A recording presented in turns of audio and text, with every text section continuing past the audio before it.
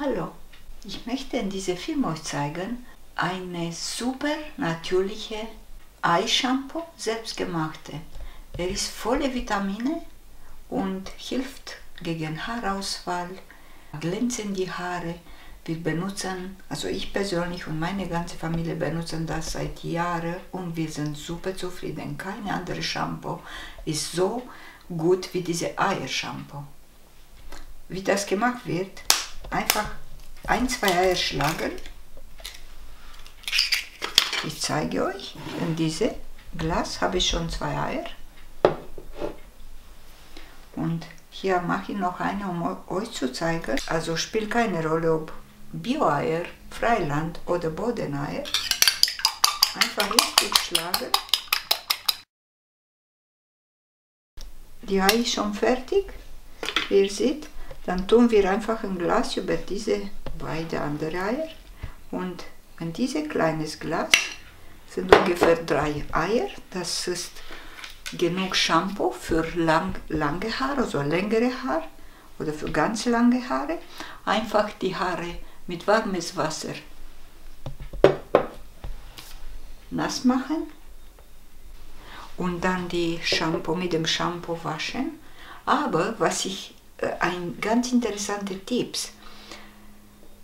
Einfach den Kopf nass machen mit Wasser, warmes Wasser, danach Ei über den Kopfhaut, über die Haare massieren auf den Kopfhaut und dann einwirken lassen, ungefähr 20 Minuten, 20 bis 30 Minuten, damit die Vitamine in die, in die Haut rein, damit die wirken für die Haut und die Haare. ist sehr wichtig für die Haarwurzel.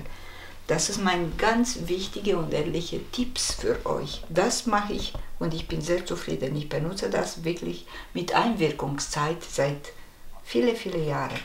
Und danach, damit die Eier nicht ein, damit die Haare nicht ähm, nach Eier riechen und damit das frisch riechen, benutze ich zwei Löffel Apfelessig und der Rest warmes Wasser, zwei bis drei Löffel. Oder Ihr kocht Brennnesselte, ist noch besser, Brennnesselte und zwei Löffel Essig kombiniert mit Wasser. Und nachdem die Haare sauber gewaschen sind und richtig abgespült mit klares Wasser, danach kann man zum Schluss mit Essig Wasseressig. Und zwar, ich mache, um euch zu zeigen, einfach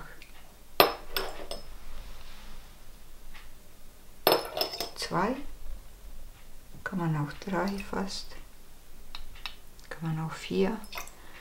Die Apfelessig gibt ein ganz, also verschwindet vor Haare, nicht dass ihr denkt, das äh, riechen die Haare nach Apfel, nein, der verschwindet in Luft mit dem, ein paar Minuten, der Geruch.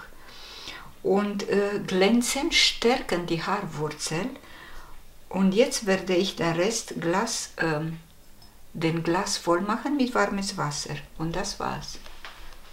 So, ich habe Wasser mit dem Kocher ein bisschen warm gemacht und jetzt über den Essig so, ja, Zimmertemperatur oder ich habe ganz warm gemacht, nicht zu heiß, sondern warm, damit man ja die Haare abspülen kann. Und dann habe ich das ist eigentlich ein fantastisches Eiershampoo, beste Shampoo für mich der Welt. Und zum Abspülen, wie gesagt, erstmal mit klares Wasser und danach mit dieser Apfelessig.